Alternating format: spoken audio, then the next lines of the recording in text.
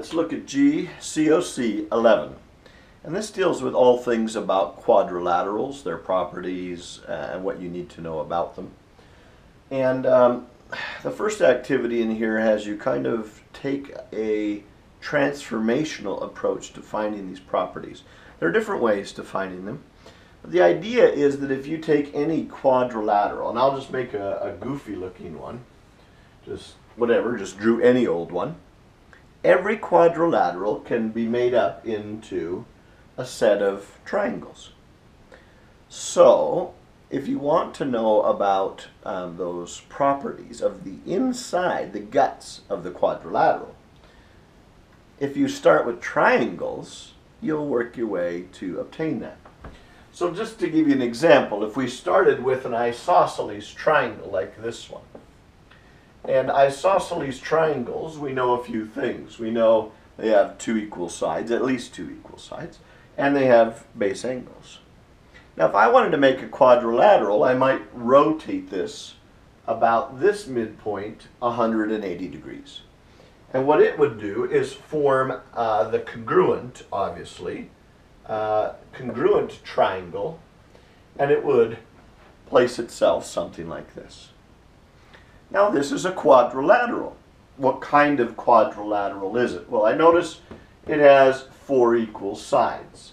So first of all, by definition, a rhombus has four equal sides, uh, a quadrilateral with four equal sides. So this is a rhombus. Now I can start to investigate what things are going on. Let me add another thing. There was an angle up here that went here. Now the first thing I notice is that opposite angles of this quadrilateral are equal. Look, this one equals that one. This pair would equal this pair. And so opposite um, angles are congruent. I uh, notice that it, it has opposite sides that are also congruent. I notice that um, this angle added to that angle, because that's the whole rhombus angle there, is a dot, dot, and an x. And a dot, dot, and an x will always equal 180. So the consecutive angles are actually supplements in this shape. I noticed that with this diagonal, it cut the big angle of the rhombus into two equal parts. Ah, diagonals are angle bisectors. And I can continue to do this until I find all of the properties of a rhombus hiding right there.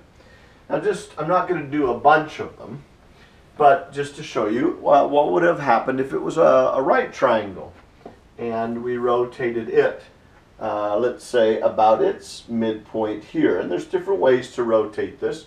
You could rotate this right angle about here, a right triangle, and you would get this shape. Or you could rotate it about here and you would get this shape and then you would begin to investigate angles and properties and, and all those kinds of fun things. Um, this list here represents the typical things that are found in pieces, parts of these quadrilaterals and so you want to just get used to understanding what they are and how they work. Um, and this is kind of a, an inside-out approach to finding those, those relationships.